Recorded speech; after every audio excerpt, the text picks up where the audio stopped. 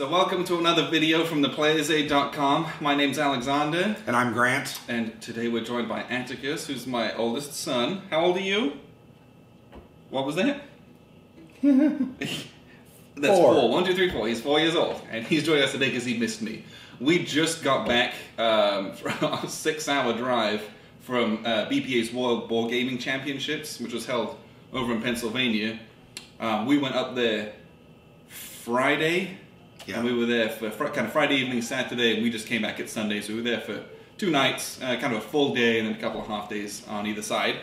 And wanted to just kind of give you a debrief of what we experienced, what WBC is, what you can expect from it if you want to go, and kind of what we saw there this year at least.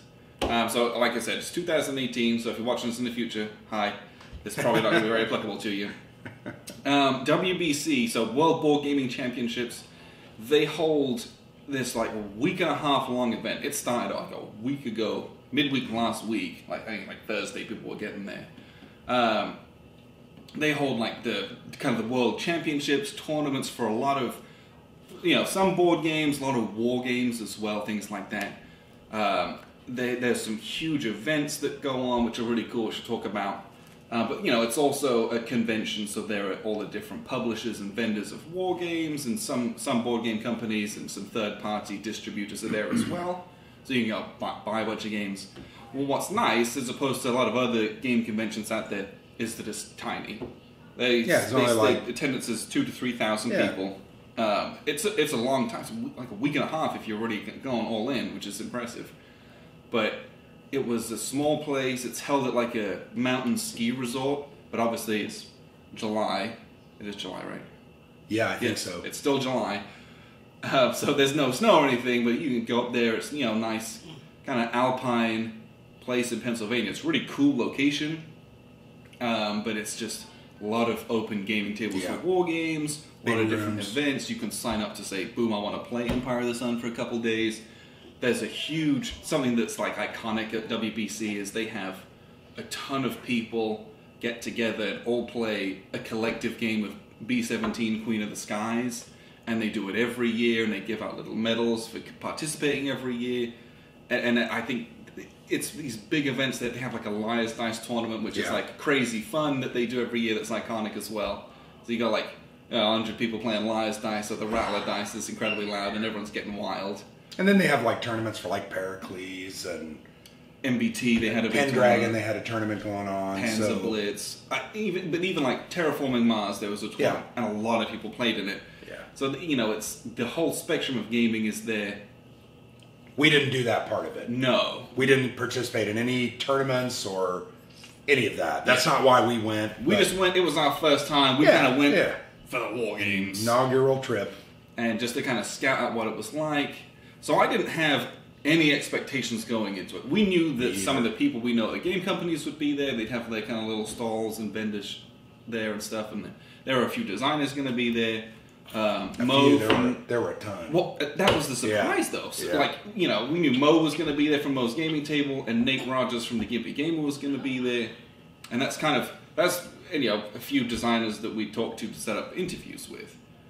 And what was amazing is for the, for how few people are there, that's enough.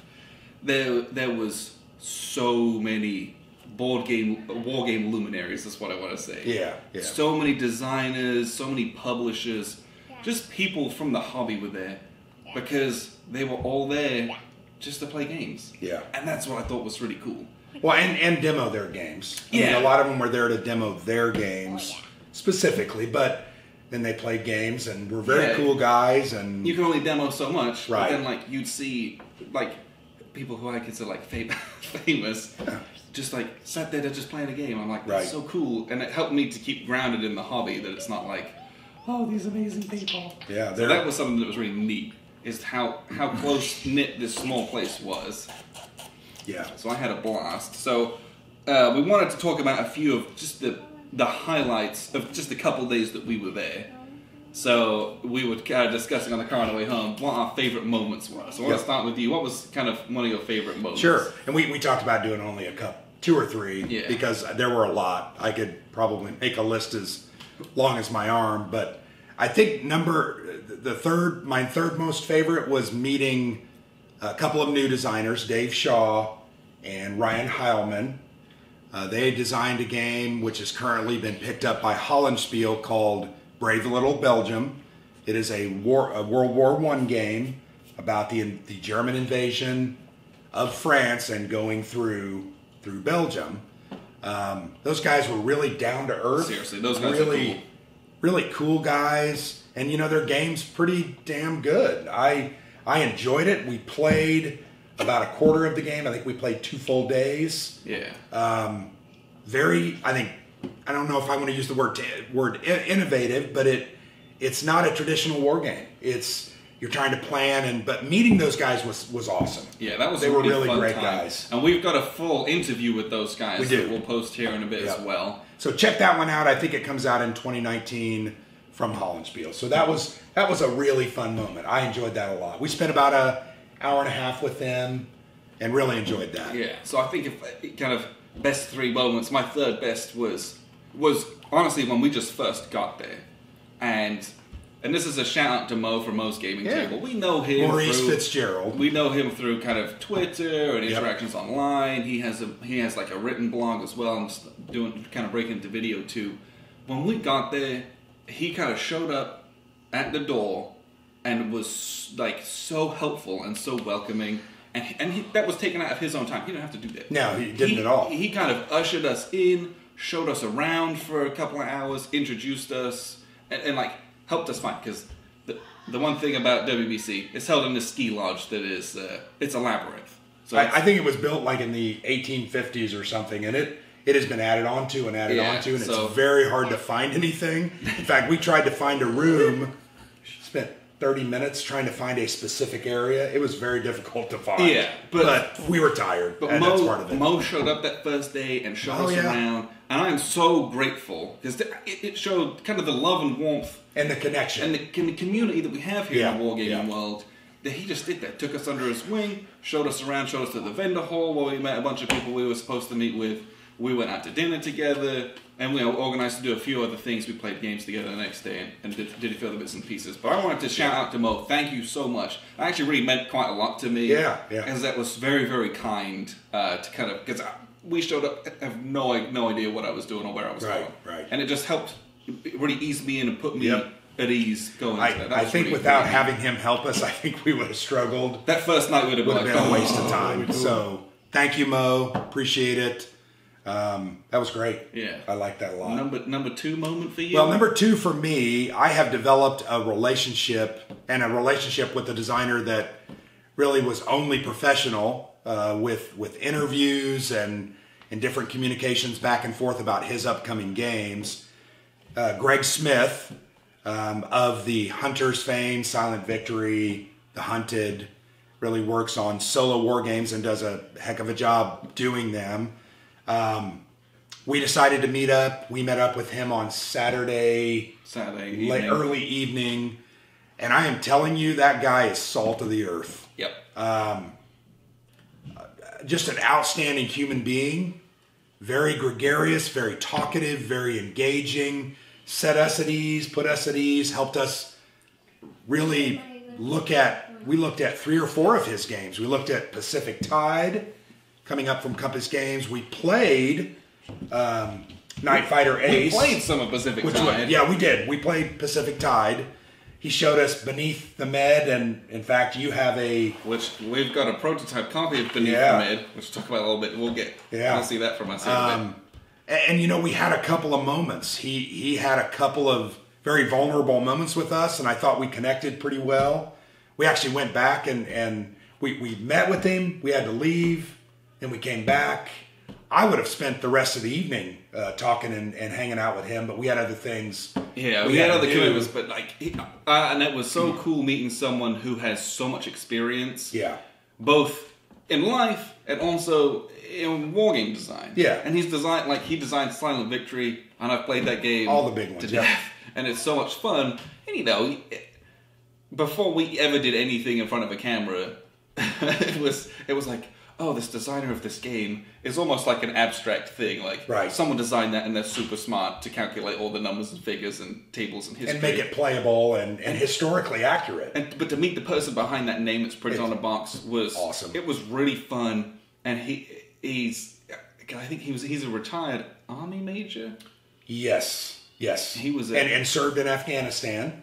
Yes, I think he's. I want to say he said- served two tours. I want to say he was. He said he served in '91. I think he might have been in Desert Storm as well. maybe he was. Maybe he was. I don't know if that's true, but I think he said '91. Okay, but it, I, I'm telling you, I, I That was such a cool few yeah, very interesting, and I think it taught me that these aren't just games. There aren't just designers behind these games. They're people. Yeah, They're people telling a story. They're proud of their games. They are connected to their games. And man, they're great people. I, I had a great and time. he wanted us to have fun with this game. He did. He that did. was that was it, it wasn't he wasn't trying to push an agenda Nope. or it wasn't trying to be like is it good Yeah. is this he was like laughing at our terrible roles in Night Fighter Ace and just like having a blast with us as Yep. we were trying Yep. to limp our way through yeah. that game. That was. I think we had like seven gun jams. We were so It was- it was bad awesome. at that game. Just every roll But- that failed, and we just had a, la- a blast doing it. Yeah. laughing the whole night. Great. yeah, great. The humanity of, of a guy like Greg Smith, I very, very awesome. Yeah. I'm glad I was able to experience that. I think my number two moment was it was kind of like stars in my stars in my eyes. I had like my little nerd moment there. Was we were sat down, we were sat down getting started demoing Gettysburg. Yep, yep. Which is a, it's going to come out in C3I32. It's designed by Mark Herman. A small Gettysburg Civil War game. Yeah, introductory like cool little game. Mark's teaching the game, and I kind of looked over at at, like next to us because I was like, oh sweet, someone's playing unconditional surrender, and I had to look again. I was like, wait, that map's too small. And then I had a closer look, and it it, it said it said armistice at the bottom. Right. And I was like, wait, what is this? And I looked up at who it was. It was Sal Vasta and his Mm-hmm. son with their brand new prototype World War One unconditional surrender system game. Yeah. And I was like, my mind was like blown because they just arrived that day. Yeah. They'd come like just for the day. They planned to be there earlier, but like, what a coincidence it was. But unconditional surrender is like number two favorite game for me, and I and I adore that game and the system's so good. And like, I'm like, I'm just sat kitty corner from Sal's, and it was so so good. He was such a nice. I then sat down with him and we had a chat. He we played. He he watched us play Gettysburg and I watched Yeah. him play it separately. And then I came back. We did an interview about Armistice. You'll see that soon as well. And then you guys just talked for like 30 we minutes. just talked Yeah. because he was such a he's such a really a good guy anyway like such a good dude. And it, you know i've spoken to him through all the unconditional surrender aars i did and the video that i did. So i'd messaged with him back and forth about certain things about the game but meeting him in real life. Such a genuine kind dude. And his son was really cool as well. Yep. he's got it was like helping him like cut out all the counters Yep. and the prototyping so that was fun. But just something that was out of nowhere that was such a serendipitous meeting but i'm so glad that coincidence i was like that could happen. And it just it was like i was like it's sal i don't know what to say. Yeah, i was, yeah. Kind, of, I was kind of flustered at first. Yeah. but it was that was a really neat cool experience. And just there was so many like that though where it was just like oh what? It's adam starkweather Yeah, we- we you saw- know like I mean, oh, I- it's that guy? So much of that Ken, happened. Ken from Compass Games, Adam Starkweather, Bill Thomas from Compass Games. I mean, we spent time with Uwe Eickert. And it's a lot of these guys we communicate with on emails. So wearing the nice Players Aid t-shirts, people would come up to us and be like, "Oh, it's you guys." I'm like, "Oh no, it's you guys." Yeah, Like, right. You're the designers. Yeah. So there was there was a lot of that from me, and I was it was I don't say I was starstruck, but like at times I was. I was like, Yeah. this, like you, this is like on another level. You designed one of these amazing games that I love. And Yeah. I'm like, I don't want to gush about how grateful I am. I'm like Yeah. embarrassed you, but like I am. This was awesome. This was is really cool for me. Yeah, that, that I that agree. was such I just, agree. just neat. We just just sitting down and hanging out with someone like that. yeah. So, so my number, I think our number ones are going to be the same. So, similar. I mean, yeah, I think it's pretty much the same thing. But so, so I, I made we made several appointments. Uh, one of those appointments we made was to meet with Mark Herman. Yes. And we, we didn't really know what games we were going to try or look at. I know there was many conversations about playing Pericles or other games, which are great. But we ended up spending how many hours did we spend with Mark? About six. Well, that, that was it. We we had, we scheduled. Hey, at nine we're Yeah. gonna do this, and then we didn't plan anything. No. to see- and he cleared his whole schedule for us. Yeah, which was crazy. So, cool. So we played Versailles 1919, which is one of his upcoming games. Sitting there with with Mo Fort Fitzgerald and Alexander and myself and and Mark, I that was phenomenal. What an experience to play an unpublished game that's coming up from one of our, I think my favorite, I think your favorite as well. Yeah. Designers. And, and just once again to have banter and fun going back and forth and Great game, by the way. I mean, it was it was awesome to play that game and have, have that time with him. And I thought to myself, in what world or industry or hobby or anything does that happen? I just don't feel like that happens anywhere else. Well, other industries are so big or so bloated, it's hard to meet the people behind everything. Yeah. But Wargaming's Wargaming relatively is- smaller. and, and that's something I learned was everyone knew each other. Like Yeah. we know David Heath from Lock and Load really well. Right. He was an intern. Mark Herman gave For- him his Mark first Herman. ever job Yeah. back in the day with Victory Games. Small world, just all Like- those connections. Yep. Like Greg Smith and Sal Vasta, Yeah. they go back twenty years. Yeah. Everyone knows each other. And that was that was Yeah. really cool. But yeah, playing that game, being with Mark Herman, and I, I'm, I'm going to brag a little bit. I won Versailles. I have no idea how I did. I got a lot of points. He won. Uh, I got a lot of points. Yeah, a lot- like I won a football game because I scored the scored most more points. I got a lot of points because of a card that is Broken. Mark was saying it's broken. He's like, I, and he's probably I need to fix this. But I, what, what an experience! the mechanics of that game. Versailles. It's there's, awesome. gonna, there's an interview with Mark Cohen about Versailles. That game's awesome. Yeah. I'm, I'm like Well, it's a mix. Of, on that. it's a mix of war game elements, negotiation. I mean, even set collection and other Euro style mechanics. I very fascinating. yeah, the influencing and the diplomacy, Yeah, back and forth of stuff. Oh, awesome. that's a great game. And But anyway. my number one moment in a similar vein was we did that, but it was we we all went out to lunch together after that, Yeah. and that was that to me was the entirely surreal part. Is that like I'm just sat here eating some food. Yeah, we had fried table from- chicken. we were with Mark Herman, you and me, and with Hawkeye, and one of Mark's friends. and listening to those guys, I'm, I'm just sat there, just like, I'll keep my mouth shut. Don't make, Yeah. don't make an idiot out of myself. Yeah. But listening to those guys talk about like non-wargaming Yeah. stuff, just about A little bit of politics, a little bit of yeah, history, History, the things, yep. the things that they've done in their lives. their past. Yep. you know, and you know, you talk about all the old SPI stuff that he did, Victory Games, Avalon Hill stuff that he worked with and designed for. Just talking about his old experiences. There's there's a wealth of knowledge to be had there, which was just fascinating. But like, that was that was surreal to me because like we've played a lot of his games, and I feel like I understand some of the ways that he thinks about things. Yeah. which is usually very forward thinking compared to other designers.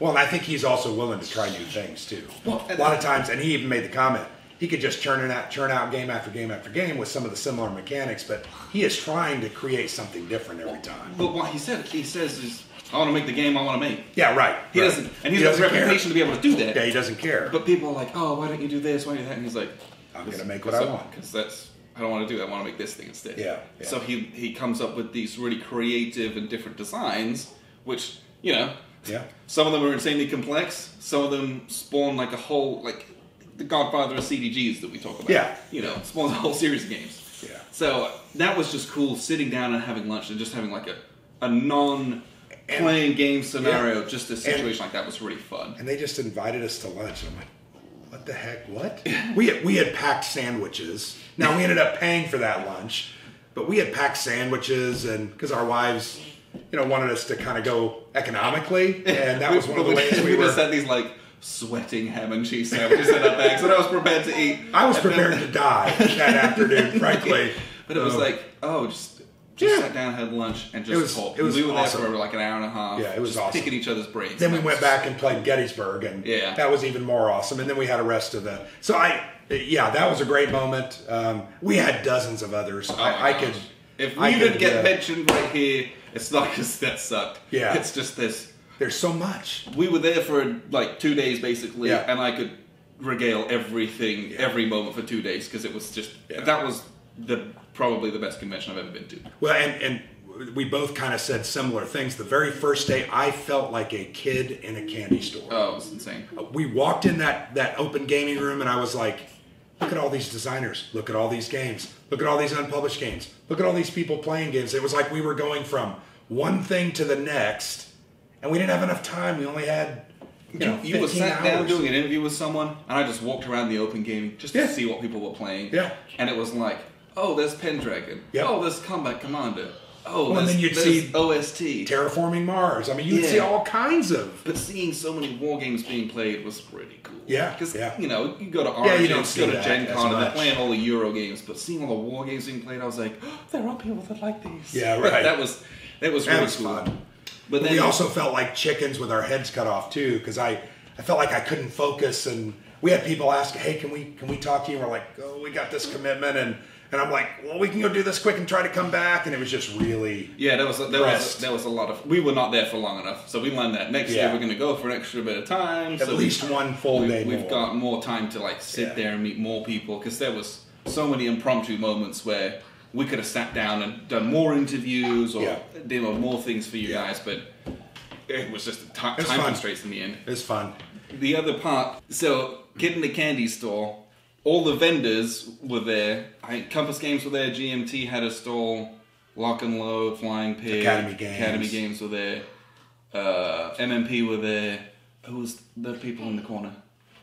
Um, I can't remember. It was like Spear Point. Yeah, Spear Point 43, but I can't remember. And there was a couple other distributors, but yeah, you know, we know a lot of those guys, so it's always fun to just go in there and chat. But, God, and this is a this is I'm a cheapskate. Compass Games are pretty pricey. If you've looked Yeah. on their website, pricey. Everything there was like off- At off least 30% discount, thirty percent off. Plus, you didn't pay no tax. sales tax, and you didn't No pay shipping shipping either. because you ordered it off of. So we picked up. We put, Right. I splurged. We sp- spent a lot of money there on that. So you're going to see some Compass Games coming from us soon, which that was Well, very exciting. Yeah, and, and other games, Lock and Load, Lock and Load, Publishing, Lock and Load. They, they have Um, the 5.0 tactical rules come in a big binder. That's exciting. So we're Yeah. going to go through some solo stuff with those as well soon. So, so my three Compass games, I bought uh, Battle Hymn Volume One, Pea Ridge, and Gettysburg. I've been wanting this for since it came out about four or five months ago. Um, Montelimar, The Anvil of Fate, designed by Adam Starkweather. Uh, huge game, five maps, a thousand counters. It's huge. Big monster game. Big monster game. And my third and final one is Revolution Road uh, by John Poniske. We actually, that was our very final. That was a good way to wrap it up too. was John Poniske and We uh, stayed in the Devil same. Dogs. We stayed in the same little hotel. Yep. That was cute. So we just met in the breakfast And talked kinda it up for and just had a chat. So 20 that's minutes. coming soon as well. Yeah. Interview about that. But I'm really excited about Bloody Mohawk, uh, tactical, tactical level French and Indian War. We met the designer of this, Bill Molyneux. I sat next to him when we For dinner two hours first night for for a couple hours, and he had so much to say about this game. Yeah, and I'm excited Like, about this one. uh, yeah, I'm like, he's got laser cut cameras. We'll It's- show you those in an unboxing. It but looks like, beautiful. Yeah, I picked up Lion of Judah because it's when they when they announced that, I was like, what? It's the war for Ethiopia in 1935, so it's it's all about Italian colonialism and expansion. They invade Ethiopia, and then there's like a second scenario where it's the British trying to liberate that back. So, an entirely unique game. Eclectic. Yeah, and, and there's, there's some really cool mechanics, like the tribesmen. You have it's an unknown combat factor until Yeah, you get yeah. into combat and flip them And over. you're kind of like VC in a Vietnam War game. yeah, typically. it's, it's similar, but but I don't know what they are either. No Right, one knows got what it, they are. they're hidden. So you just you move with the bid, hope for the best. Yeah, but yeah. beautiful game. I love the box. The box. Uh, show them the. I mean, like how what a phenomenal. that? That's an amazing box. But this is a cool. I'm, this is probably the only game about that war. Now I've That said I'm that it's not. There's probably 10 There's others, probably but- more. But, but what a cool opportunity to play something that's not World War Two, World War One, or Yeah. like the American Revolution, right, or the Civil War. You know, Yeah. something totally different. I mean, it's World War Two, but it's it's. Uh, It just looks awesome. It's the game. And then I picked up Guam: Return to Glory, and this is because I was jealous of you With 'cause you have Saipan. We played that last year, and that game is that game is fine. I loved that game, and so And now I'm jealous that you have the second volume. they they they they, I- they had this, and I, I had to get my hands on it, and it was with the with the discount they had there for the convention prices. Yeah. you can't say no to that. no, it, uh, no. It's so. I mean, I, I basically got about, in essence, 40 to 45% off this stack of games. Yeah, That, that's how awesome that was. And, and I don't buy a ton of games.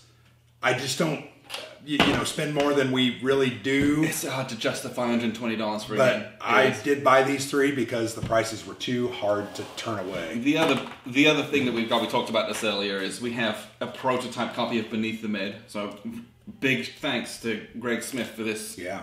Um, so we're gonna do some videos about that. You know, Silent Victories, the Hunters, Yeah, it, the it's solo submarine warfare, the Italians in World War II in the Mediterranean, and And it's Very this is cool. prototype copy, so yeah, a lot of the stuff's different from what it would be, but it's his is the med with a little patrol chance going on. So that's coming up soon as well. It was so he was just Greg was just unloading stuff. he Yeah. was like, I've got zeppelins in the works. Yep, I've got yep. this in the works. He's got so many games in his brains coming out. Yeah. and he's got a new deal with Compass, so there's gonna be a lot of new titles from him coming Yeah. through them as well, which is very exciting.